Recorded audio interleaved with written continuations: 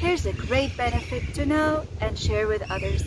Imam Zainul Abidin, the son of Hussein, who is the son of Imam Ali, said, سبحانك أنت الله لا إله إلا أنت لا يحويك مكان لا تحس ولا تمس ولا تجس It means we clear you Allah from resembling any of the creation. No one is God except you Allah. You are not contained in any place. You cannot be felt or touched or grabbed by the hand. This means that Allah Ta'ala is not a body. All this is understood from the verse in the Quran, لَيْسَ كَمِثْلِهِ شَيْءٍ which means nothing resembles Allah at all. God created bodies and God is not a body.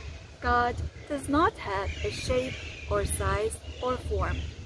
Allah Ta'ala is not contained in any place or direction. God created all places and directions, and God existed eternally without a beginning before creating places and directions without a place. And God does not change. After creating places, God exists without a place. God does not need any of his creation. This is the belief of all Muslims.